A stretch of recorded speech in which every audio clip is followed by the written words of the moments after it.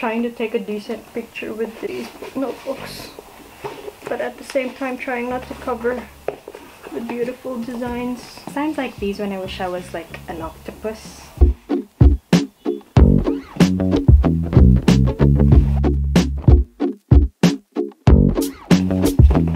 Hi!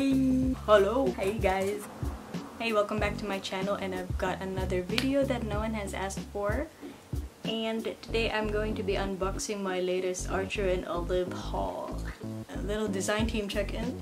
So in case you don't know, I have been accepted as a design team member last October and you can watch my application videos. I also did an unboxing on our design team welcome packs and being in the design team has been an amazing experience. I love all of the other design team members. We get along so well and it's just so fun. So as design team members, we actually get to contribute content to the Archer and Olive blogs. So we are tasked to do blogs every month. Doing blogs is very, very new to me and it can be really challenging at times, especially when you don't have a topic to blog about. So if you want to learn something that is either bullet journaling related or craft related, you can let let me know in the comments if anyone is watching this. And another perk of being in the design team is that we get gifted Archer and Olive products. I basically have like a hundred, not really I'm exaggerating. I have like a lot of Archer and Olive notebooks which I really don't know what to use for. What about you? What do you use your notebooks for? Also every month we get like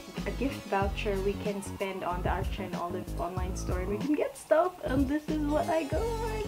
So I got my handy dandy cutter and I hope I don't stab myself in the process of making this video. So I've bought a total of 8 items. One is a notepad and 7 of which are notebooks. So I've always, always, always used A5 and now I want to try bigger notebooks. So Archer and Olive also have dot grid pads.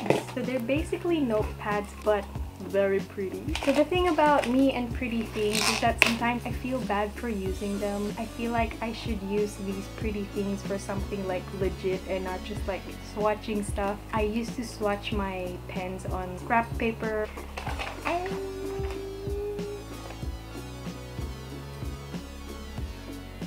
My head to scale. So this is the B5 size notepad. So the previous month I got myself the rainbow notepads which I haven't used because I feel I feel guilty about ruining it so it's just like unused maybe until the day I die or the end of the world whichever comes first look at that, look at that. So anyway, I will be using this to swatch acrylograph pens, but it's still pretty. I would say sketching out stuff, but I would still probably use scrap paper for that. I don't know. I'm still trying to get used to using pretty things for every day. Next. So the notebooks are actually all A5 size. I don't know what to use them for, but I got them. If they're gifted to you, just take them and say thank you. So I got a Vintage Bee A5 notebook. This is the white dot grid pages. I like butterfly and bee and moth designs, but they scare me in real life.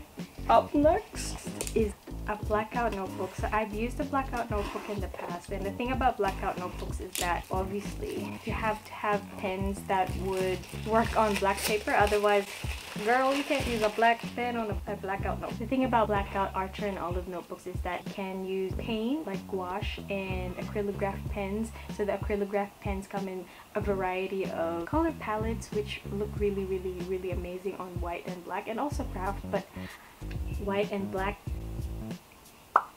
I have been eyeing this notebook ever since I saw it ages ago it has a holographic rainbow and I love everything holographic and rainbows. And it has like silver gilded silver gilded pages. The next one is a pastel. Oh, I can't even describe it properly.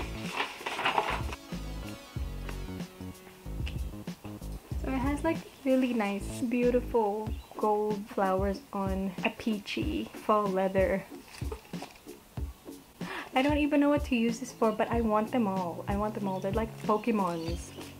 Are you ready for the next one? Because I'm not.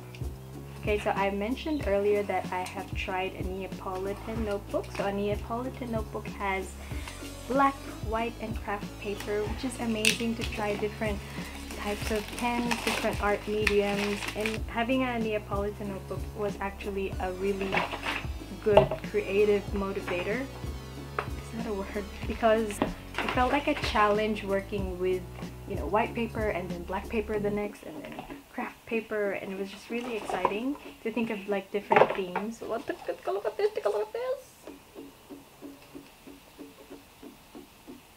I already actually have this notebook but white dotted pages and it has like gold edges. But I'm currently using this as my Archer and Olive vlog demo notebook. I know I know I know. I didn't want to do that but I didn't have any other notebooks aside from like my actual journal. But anyway so I've got the same morning flowers design but Neapolitan. Again black white and kraft pages. And I've got another pastel colored notebook so you've got like the sun and the moon and some stars on top of a hand. I like the soft pastel colors. And of course, I don't know about you guys, but I love the 2021 holiday notebooks. I already have the red one, which is this beautiful glittery, shimmery red notebook with gold foil design and the material is cloth and it's got gold gilded pages and one of the winter designs is blue shimmery notebook. It's so pretty. And it has like a silver snowflake in the middle and it has silver gilded pages. I feel like my mom would love this so I would love to give this to her. And of course, last but not least, third winter 2021 collection notebook. The third notebook has a white glittery cover and it has like a silver coffee cup. I'm, I'm gonna say this is a coffee cup, okay? It's more looking at all three of the holiday notebooks. My favorite one is the red one, but sometimes I like the white one and sometimes I like the blue. So it's really hard to pick.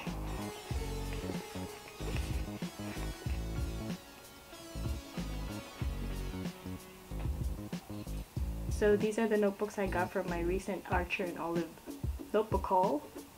I'm gonna let go now because my hands are cramping. Oh, and um, just reminding everyone that Archer and Olive is going to retire our old notebook designs. It's very sad, I know, because there's a lot of like classic designs that are my favorite, which are basically gonna be sold until and we won't be producing anymore which is sad because they're all beautiful. But then again I am very excited for all of the designs to come. These books are very heavy. Arm day today. But as someone who's been using Archer and Olive journals for the past few years it's just an exciting thing to see what they have in store for us. So yeah what notebook are you using at the moment let me know in the comments below and I am an Archer and Olive affiliate. Please feel free to use my affiliate code ICStudio10 upon checkout at the Archer and Olive website through the link below and get a discount on your bullet journal goodies, especially the notebooks. So if you've made it this far, thank you. Congratulations. Thank you for bearing with me and I'll see you guys in the next video.